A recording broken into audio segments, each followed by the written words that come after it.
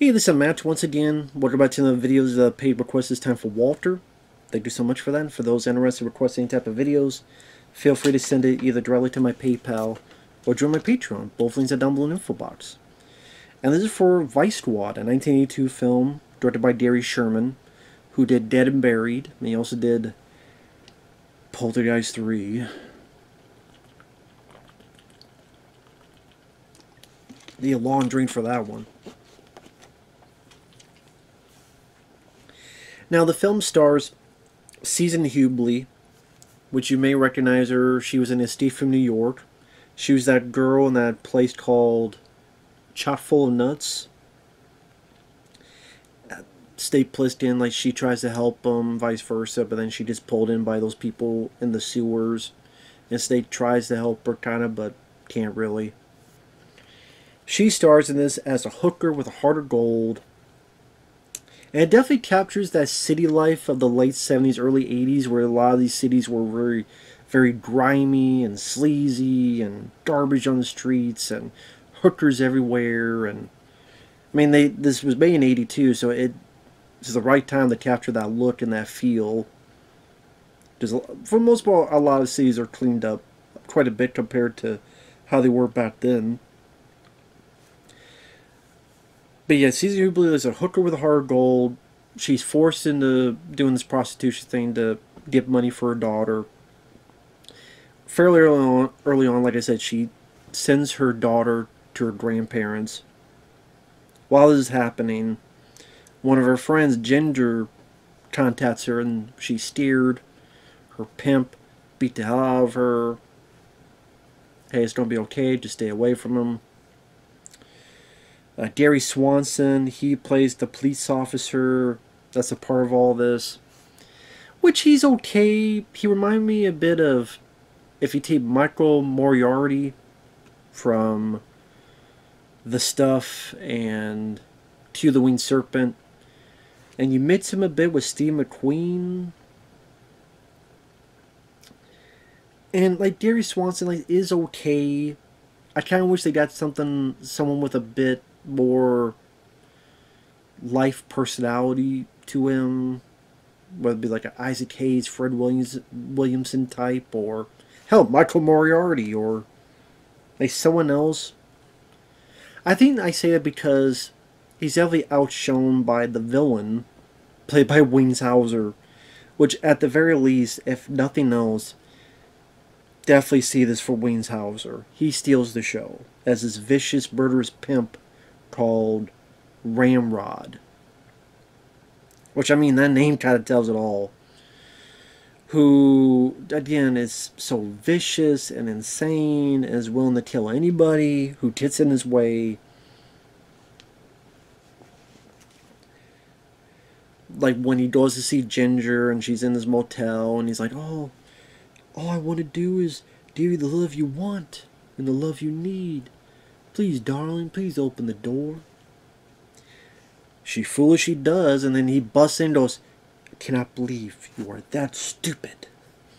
Ties her up, gets this, what they call a pimp cane, which I think is uh, wire hanger, kind of well, you know, bunched up, beats her with it. She's found in the, you know, we later see her in the hospital. Cops try to talk to her, but she dies of her injuries. They talk to Season Hubley. that you're in a trumped up charge of drugs. it's like, yeah, I know you didn't do these, but the judge doesn't know that. And then also shows her what happened to her friend. and to be honest, this whole scene, it made the cop unlikable to me. I'm like, I really didn't like this guy, the, the, the police officer, because okay, I get it, hooking is bad, but you know she's got a kid. You want to put a fake charge on her to make her go to prison. then you show her your dead friend, pushing her face into the dead friend's face, going, look at her. You didn't even tell her that her friend was dead, so she's finding out her friend is dead. You're shoving her face into the woman's corpse pulling her hair, holding her hair there. And then you thinking, okay, maybe he's like, hey, I'm sorry, I was too rough. No, he just goes back and shoves her head into it again. I'm like, this cop's a prick. He's a pretty unlikable prick. I don't really care to root for this guy. It's one thing, it's like she she was told her friend died and then she rebuffed it for whatever reason and as oh really? Well i'm not going to be nice anymore. And then did that like maybe. Although then you're thinking well why would she rebuff the the death of her friend? That's true too. But i say just oh it made me not like the character.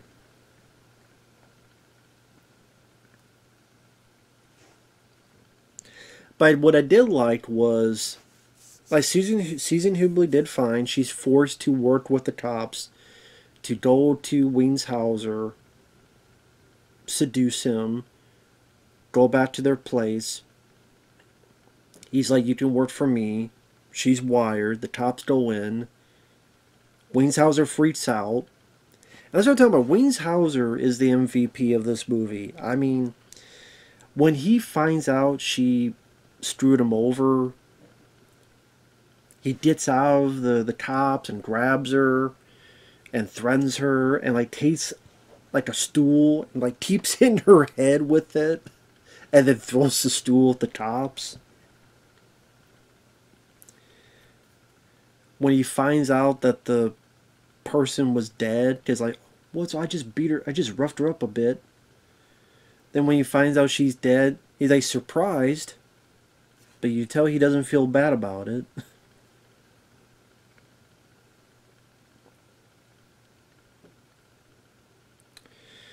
He's always trying to talk sweet to people until he gets what he needs and then screws them over. When he gets arrested and he's able to get away from the cops by kicking one in the face and getting another one like lays wrapped around his neck, is steep, gets to a guy that's going to hacksaw his cuffs, starts talking mad crap to him, and then the guy gets the hacksaw right to Hauser's neck and goes, Don't give me that trapper shit. Okay, okay, man, okay. Tosses guy named Eddie who's got like this like bondage outfit and this big lot of tattoos on his face. Gets a gun. I said automatic. Hey, it's okay, man. All you have to do is ask just for anything for a friend. Now you don't call someone? Yeah, sure, I'll call. I like the guy who plays the, the guy Eddie. He's like, sure, I'll call anything for a friend. And gives like little kiss and stuff. I think that's what makes the film work is that there's a lot of personality in the environment to show the sleazy side of this almost other world that's on the, the streets of these cities. Where the police station that has like too many hookers in there, which I like the line one of them says, when our hoes were prostitutes. There's a difference? Yeah. Hoes give it away for free. or when some of the cops are trying to talk to people in the club because they're disappointed now they gotta either find the pimp or they gotta find Season Hubley. Find one or the other. And they're looking around, they talk to some people, and this black lady who's a cop tries to talk to this guy, and this guy's talking mad crap. And she pulls a gun on him and goes, Blink your eyes and you die in the dark. I thought it was a good line. I, have never heard that line before. Like, don't move. You blink your eyes, you'll be dying in the dark. I actually like that line. I think that's a pretty good line. I know I've seen that actress before. I don't know where who plays the cop, but I know I've seen her before. Actually, would have been fine if she was the lead. Instead, I mean, like I say, Gary Swanson was fine, but I would have been fine if that lady was the lead. I liked her attitude a bit more, to be honest.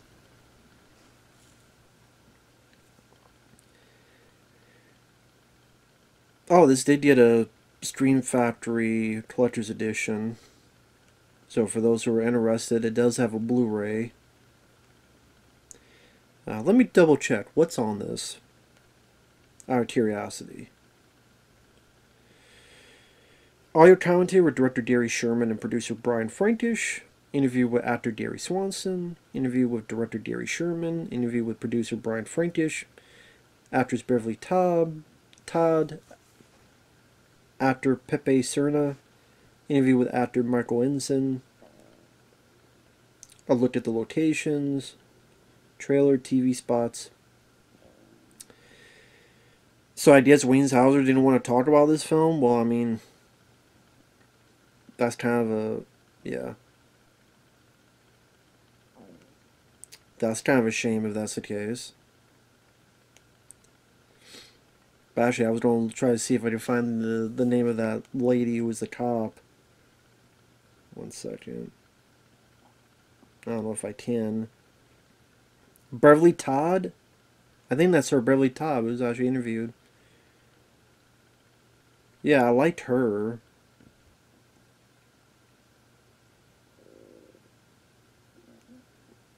Oh, she was in Moving Richard Pryor. Okay. She was in Moving with Richard Pryor. Did she play the the wife?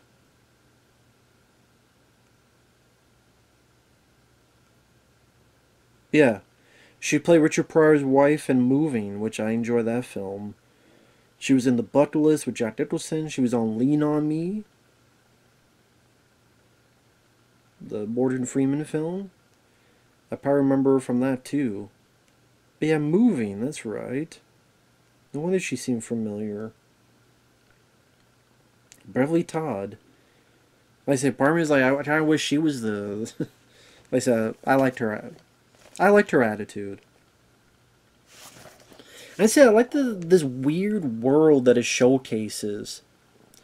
Because like there are times where as the cops are trying to look for one or the other, you either have Wings Hauser on his turmoil where he's just making everyone's life hell. He's, he's finding Season Hubley's friends, dragging them into the car and slamming their head, and then when he gets info, just throws her into the trash. She's not dead, but you know, pretty beaten up. Or finds this overweight sugar pimp and talks about how, you know how you can't eat women? Because you ain't got no balls, boy. Castrates him. The guy's alive. Maybe he doesn't want to later on, but he is found alive, just castrated and just going crazy. Just again, Wings knows how to sell crazy fairly well. Or Season Hubley doing her jobs like this weird job where this chauffeur says, "Hey, I have a job for my client, who I drive for." I recognize the chauffeur. He's the same guy who was in the original Ghostbusters. He he was owned the hotel and says that's too much, I won't pay it. Oh, that's fine. We'll we'll bring it back. No, no, no, don't do that. Don't do that. And the scene after they capture Slimer, that's the guy haggling over the bill with the Ghostbusters. It's that guy who's the chauffeur. And then this weird scene where, spoilers, she's in a wedding dress, goes down, looks like a funeral. The guy pops up. She freaks out and curses him. He's like, "You ruined it. You talked. You weren't supposed to talk." And then, of course, she freaks out and all this, leaves, which I don't blame her for. I mean, this is a hell of a weird fetish. What, a funeral kink? I don't even know what kind of kink you would call that. So it definitely it, it world building. It does a decent job of world building of just how kind of insane these streets have become. I know in the trailer there's a guy in a Superman outfit. I I don't know if it was in the opening because there was an opening montage showing stuff. Maybe it was in that and I missed it. But I know if you watch the trailer, there's like a guy like a Superman outfit or something like hitchhiking. I didn't see him in the film, but it might have been I might have missed it. I might have missed that part.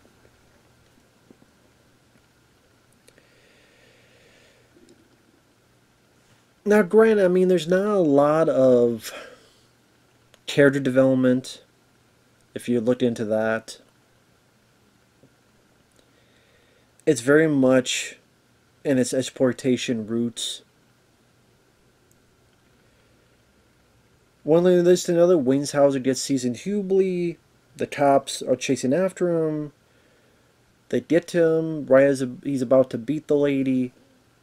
They go in. There's a firefight. Wings Hauser jumps out the damn window, and the cop, Gary Swanson, is chasing after him. Things did take a care of the end, so I won't spoil every single thing. But yeah, I, I like the atmosphere that is showcased. The world, the just the weird cast of characters throughout. Just their looks and their demeanor and their dialogue. They give these little moments and it's popular with so many of these little moments that make it an interesting watch. The director did a nice job showcasing the slimy, grimy bits of these streets. Wings Hauser, crazed, manic, insane uh, MVP of the movie. It's worth a watch just for him. Season Hubley does fine. Like, she's alright. Like, she does fine. Gary Swanson, I don't. He doesn't do a bad job. I think just because that initial bit with the season Hubley made me go, okay, I'm not sure if I really like this character. And then, like I said, if you had like a Robert Forster, like if you change the writing of that scene a bit, I, I don't remember. I don't know 100% how, but if you change, and you, again, someone like Robert Forster, I think Robert Forster would have been great in this role. Now I'm thinking, man, I wish it was Robert Forster in this lead role as the cop. And he, he doesn't have to play exactly like this. Just more of like, come on, like, you know, this lady died, you're not going to help us? Like, write with a little bit more humanity.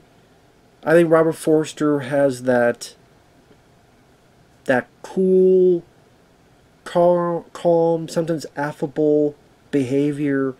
He would have been a good counterpoint to Wings. It's just that while Gary Swanson's fine, just Wings like overpowers him acting wise. I, I think Robert Forster or someone like that I think would have been much more impressive. Plus, I mean, it would have been great to see Robert Forster and Wings Hauser go at it. That'd be pretty cool. That would have been pretty cool. But I mean, I do like the film. Like I said, it does have a nice pace to it.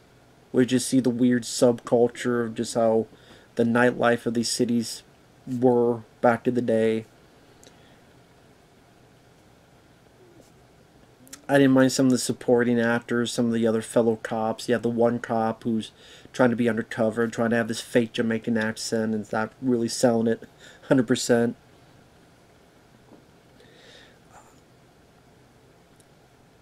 the music, interesting to have Wings do the song at the beginning and the end. Definitely gives a, a different vibe to the proceedings.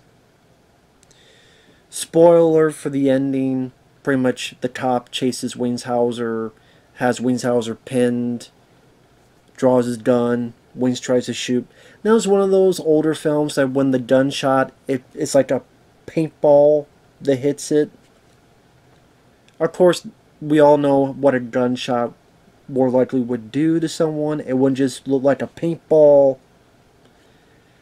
That's what it is with some of these movies. Either let it go or you don't.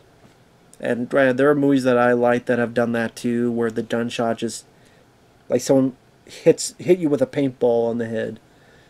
Again,